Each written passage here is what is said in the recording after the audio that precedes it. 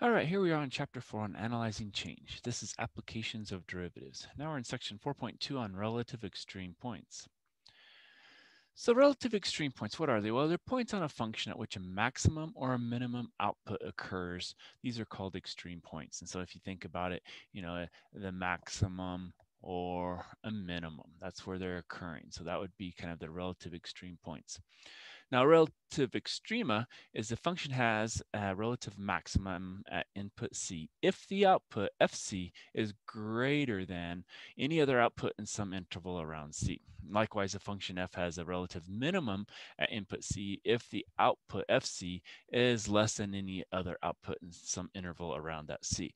So we're talking about relative extreme. So, you know, this, if we call this our C, you know, around C, that's the max point and so that would be a relative max and you know this one if that was our c instead then around that point you know so far that's the lowest point and so that would be the relative minimum now, relative values and relative extreme points. For a function f with a relative maximum or minimum, you know, depending on if we're up or down value at c, the output fc is referred to as a relative maximum or minimum value.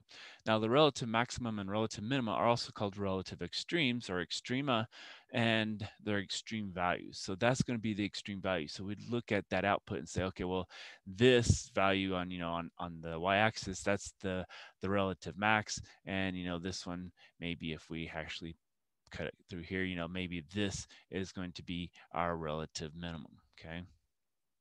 And that's the output value, our y value. Now the point C, f of C is referred to as the relative maximum or minimum point or a relative extreme point. So then what happens is we have some uh, point, you know, this is at C at this point, and so it's gonna be C f of c. So that's kind of our y, that's our input, our x kind of. And so that would be this point here. That would be how we would represent it. That's going to be the relative extreme point.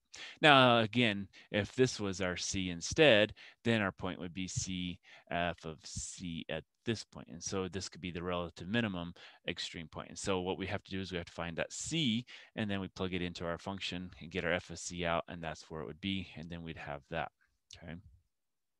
Now, critical points of a continuous function f is that CF point at which f is not differentiable or the derivative of f is zero. Okay, so f prime of c is zero. Now the input value c of a critical point, cf of c, is referred to as the critical input or number.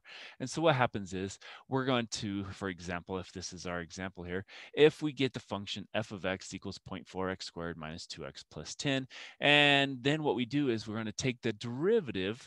So we take the derivative, that's going to be the 0.8x minus 2. So that's our derivative or our slope function. Now, to determine what our input critical value is, what we're going to do is we're going to solve that f prime of uh, x in this case equal to zero and solve that for x.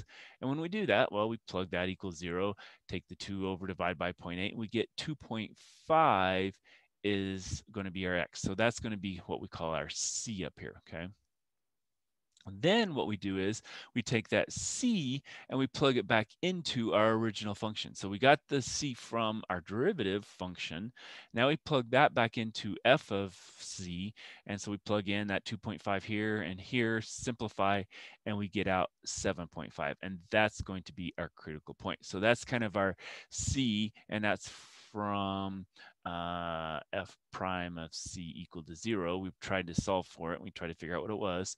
Then we plug that back into our original function, f of c, and we get the value out there. And that's how we did it, okay? Now, when we solve this f prime of x equals zero, uh, we get, may get one or more critical points. If you have a quadratic, you're going to get two. If you get at this point here, if that's a quadratic, you'll have two. If you cubic will have three. Now, the existence of a critical point does not guarantee the existence of a relative extreme point. Okay, so that's kind of a key point there. And so for a critical point, CF of C to be a relative extreme point, the slope graph of F must cross the input axis at C. So it kind of has to, when you do their derivative, it's going to have to cross that axis at those points. And so, you know, maybe if this was going up and maybe this is coming down and if we kind of get it back up over here, so that's supposed to be down here, but that's okay. But you know, it's going to be crossing, we're going to find the, the extreme points and it has to cross that x-axis at that point. Now, the relative extremes do not occur at the endpoints of interval because they have to be within an interval. So, you know, if our graph is something like this, we can't have an extreme point be at that point right there because we have to have some kind of other point at the end. We have to be in a, in a um, interval. And so it can't be the endpoint of that interval here or here. It has to be somewhere within that range here that's got the actual interval on either side of it. Okay, so that's a key to remember. It can't be that endpoint.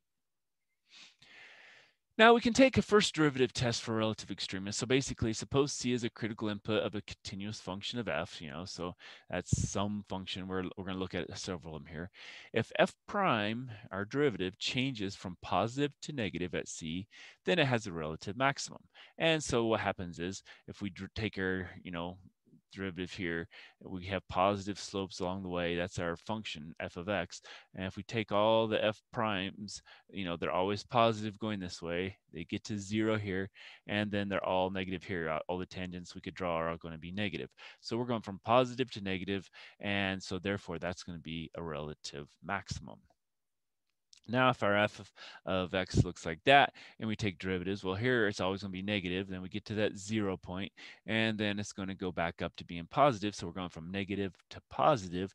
So that's going to be a relative minimum. Now, the two next cases are going to be the case where there is just not a, a relative extreme point here. And that's when we have it's going from positive, we go to that zero, and then it stays positive. So it doesn't change basically sign, okay? It doesn't go from positive to negative, it goes positive to positive, and so there's no relative extreme. Now this one kind of just opposite, it goes negative, zero, negative, so it doesn't change again, and so there's no relative extreme here. So no matter how we do it, it's always going to be negative without with that exception of, you know, at, at f prime of c, that's equal to zero. Okay, so using our derivative test, we can kind of determine, you know, is it going to be a max or a min or nothing? Okay. Now, conditions where extreme points exist. So for a function f with input x, a relative extreme can occur at x equals c only if fc is existing or is defined. So furthermore, a relative extreme exists where f prime of c is equal to zero and the graph of f of x prime crosses, not just touches the input axis. So again, you know, we have to cross that axis for f prime uh, of x to happen. So, you know, if that's one of our points and that's the other point, that could be an extreme, you know, maybe it was like that or, you know, like this or something, but it has to actually cross at that C. Now, a relative extreme can exist where f of x exi a relative extreme can exist where f of x exists, but f prime does not exist. So with that one, further investigation is needed, so we're not going to continue with that, but th this can happen. So that's going to be a kind of a key there. So we can, we can have that, but we need to kind of look into it further. So let's pause there and we'll come back with some examples.